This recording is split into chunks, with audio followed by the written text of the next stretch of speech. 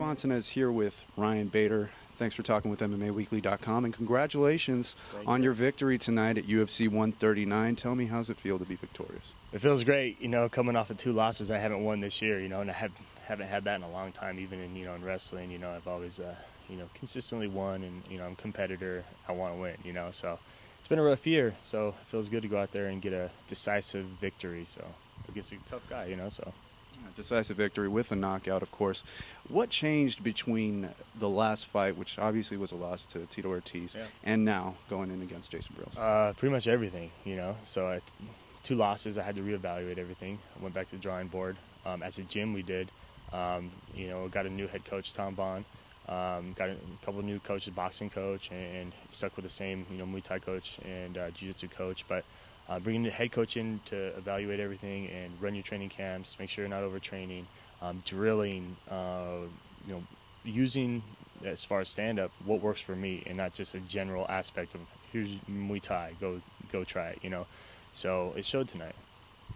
Right now, against Brilz, clearly a first round finish is a great thing. Uh, was that part of the game plan going in? You were going to try to finish him early, or were you looking to grind it out more? You know, I'm always looking to finish, but actually, you know, the first round where I, in the past, I've had a problem of going out there and throwing everything I have into every punch, and so you know, you saw it this time. I was more methodical and just looking to touch him, you know, and uh, um, keeping my boxing tight, and it came, you know, and that was a game plan. We implemented it perfectly. Um, we, you know, we were prepared to wrestle with him, prepared to go to the ground, prepared to go off the cage, but it didn't get there, and, and you know, we hit the first uh, little part of the game plan perfectly. So I won't complain. no room to complain there, right? All right. So, what uh, when you saw him go down, what was your initial reaction? Did you say you got to go in and finish this guy, or did you know he was out and you just said you got to Um, leave him alone? actually, you know, the ref was pretty good, and he was in there before I couldn't even really get get to him. But you know, as a fighter, you go in there to finish the fight, and he was always standing between, and I was, you know, rearing up, but I saw he was out, so no need to hit him again. But um, you know, the ref pushed us off and knew he was out, so felt good. Now, going forward, uh, you're back on the winning track. Where does Ryan Bader go from here? Just keep winning. That's all I want to do. I want to keep my head down, take fights, and win. And I, you know, I have no names to call out. I, I have nothing to say about that. I just want to go in there and, and, and win fights.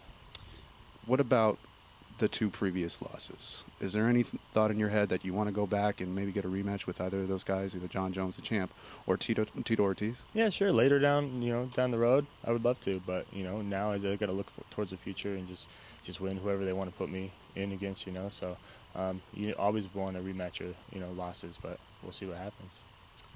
Congratulations, Thank Darth Bader. I appreciate it. Thank you very much. Thanks for talking with MMAweekly.com.